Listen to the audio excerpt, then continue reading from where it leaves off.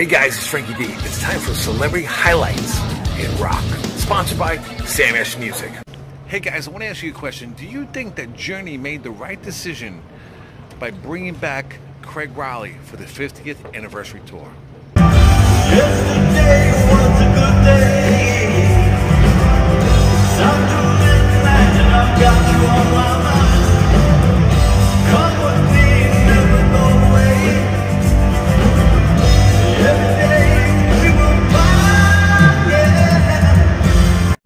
This sucks. yeah, me. It really sucks.